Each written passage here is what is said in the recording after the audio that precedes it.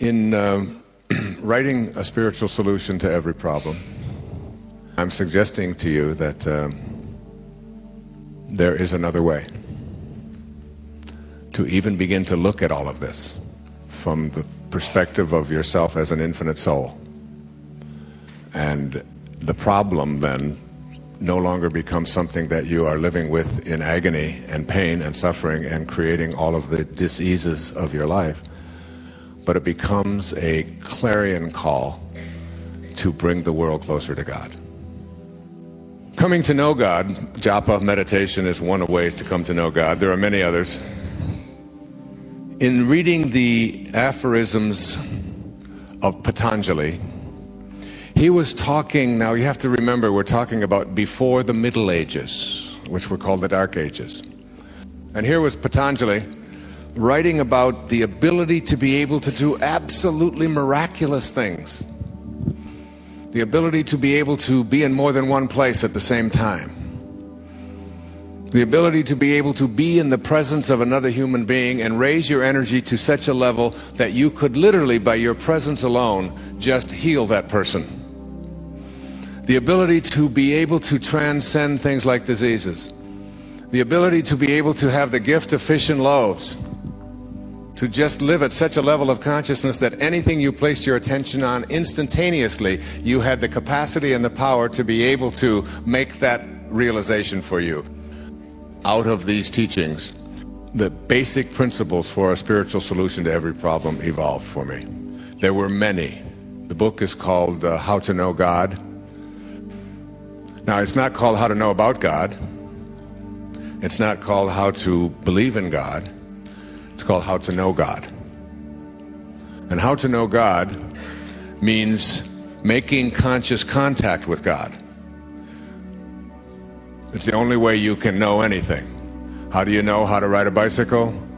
Because you've been on one, not because somebody else has given you their testimony, not because you've watched other people do it or you've listened to other people telling you that it's possible. Those are all approaching knowing. Knowing God means, or knowing bicycle riding, or knowing swimming means getting in the water, getting on the bike, slipping around, getting your head wet, perhaps swallowing some water, falling a few times, and eventually having that knowing. And even though many of you haven't been on a bicycle for 20 years or more, if I put one in here and you were on one when you were five, you would get on it with a knowing and you would ride off. And if you haven't been on one, you would have questions about whether it's possible. And I don't know, that little seat, and look at the size of my seat, and uh, those little tiny tires. And you would have all kinds of questions until you have the knowing. And so, what I want to share with you in these uh, remaining moments here is five of these aphorisms. Now, I came across something from How to Know God. And it was the most, it was for me for years and still is one of the most significant pieces of writing in terms of its impact on creating a spiritual solution to problems that I've ever heard. He said, When you are inspired, and inspired, of course, means what? In spirit, as opposed to being in form. When you're in form, what do you get? Informed or information. When you're in spirit, you get inspiration. And there's no shortage of information. This has been called the information age. I'm about trying to move us into the inspiration age because it's a deficit of spirit that creates all of these illusions that we call problems in our world, collectively and individually. And he put it this way He said, When you are inspired by some great purpose, some extraordinary project, all of your thoughts break their bonds. Your mind transcends limitations. Your consciousness expands in every direction. And you find yourself in a new and a great and a wonderful world. And then the part that always gets to me, he said, dormant forces, faculties, and talents come alive. That when you become inspired, these dormant forces come alive.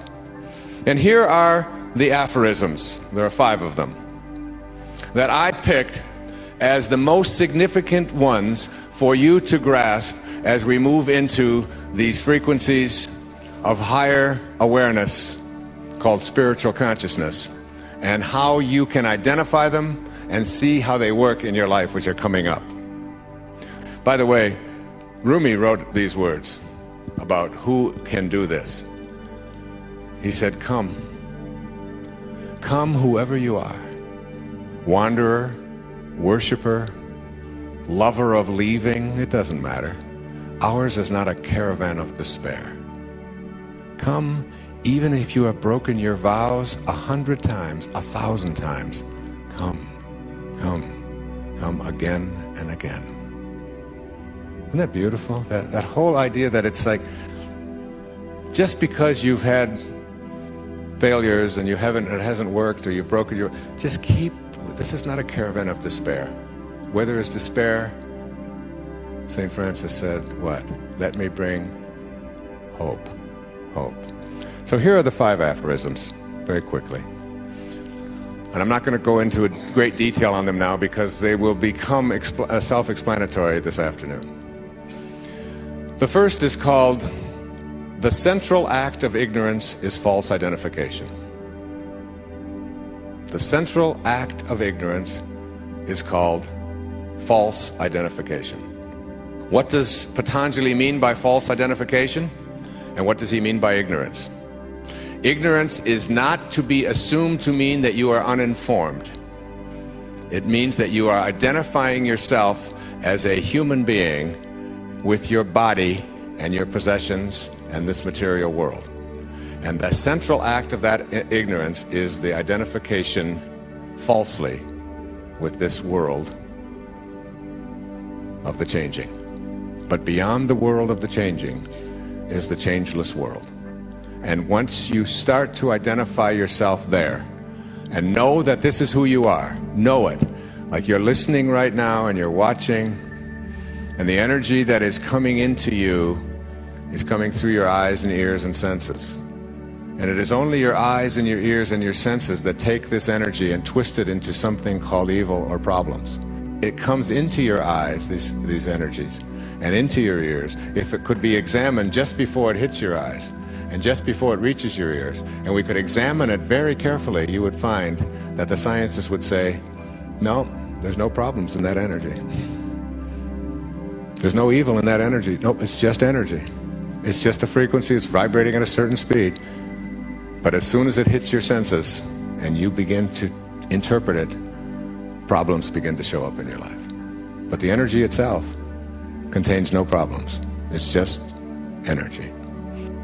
That's proper identification according to Patanjali. That's the first aphorism. The second aphorism sounds like this The mind of the truly illumined, said Patanjali, is calm because the peace of God within all things is known, even within the appearance of misery and disease.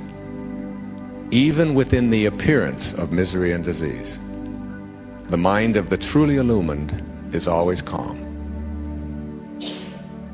And this is a reference that Patanjali made that really struck me. He said, God cannot express God's self in you when you are not at peace.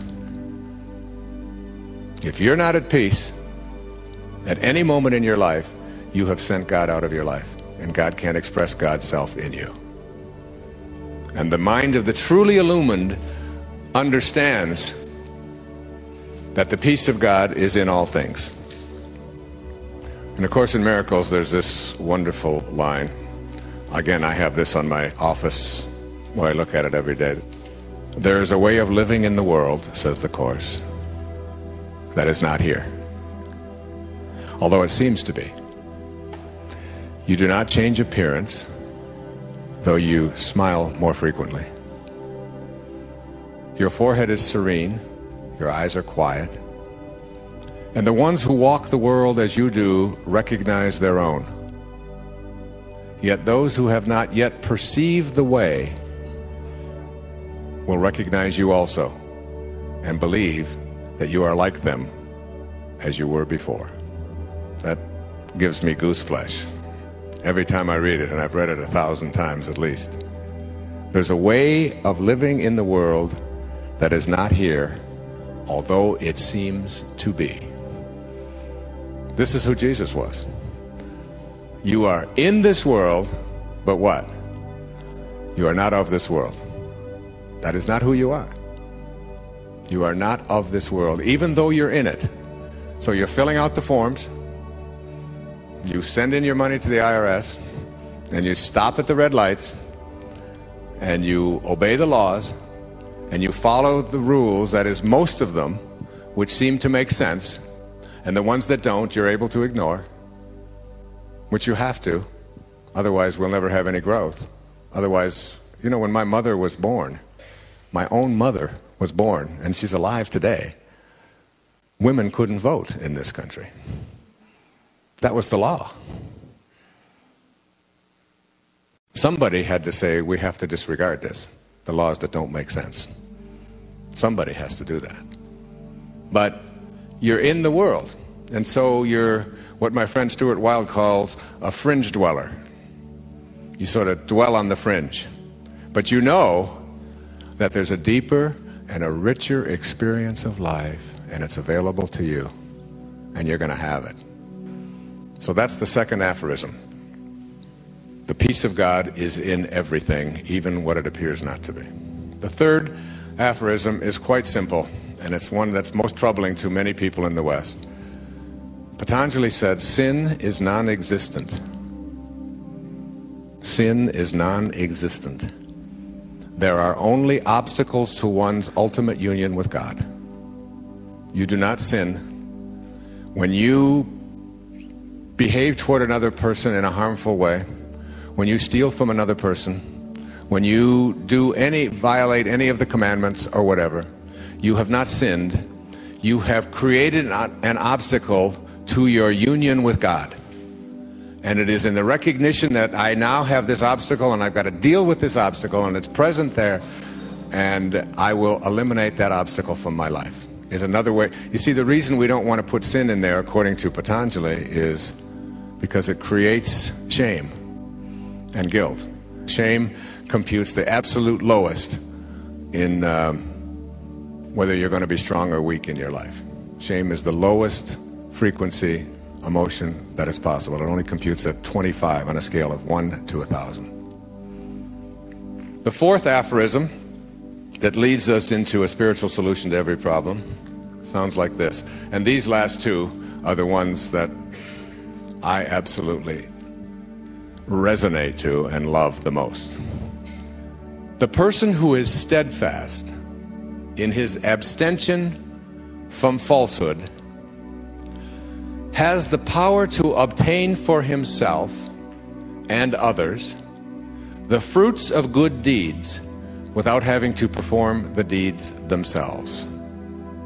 Steadfast in abstaining from means that you never waver and you never have thoughts of falsehood, that is, identifying yourself as a material being rather than a spiritual being. And when you become steadfast in that, when you say to someone, God blesses you, they are blessed by your presence when you have that kind of consciousness. And you present yourself to someone and you are absolutely steadfast in abstention from falsehood. And in the presence of such a person, healing takes place and blessing takes place. And that's all you have to do to become someone who performs these spiritual miracles. And the fifth aphorism, my favorite of all, says when a person is steadfast in his abstention from harming others, then all living creatures will cease to feel enmity in his or her presence. Let me give it to you again. When a person becomes steadfast in their abstention from thoughts of harming others, all living creatures will cease to feel enmity in their presence, pain, hatred. That was St. Francis. It wasn't that he, most of the time, didn't have thoughts of anger and hatred toward other people. He never had them. When this Nisargadatta was asked, What's the difference between saints and the rest of us? Is it that they have unconditional love and we don't in them? He said, No. You have unconditional love in you, and so do the saints. He said, The only difference between you and the saints is that they have nothing else inside of them to give away.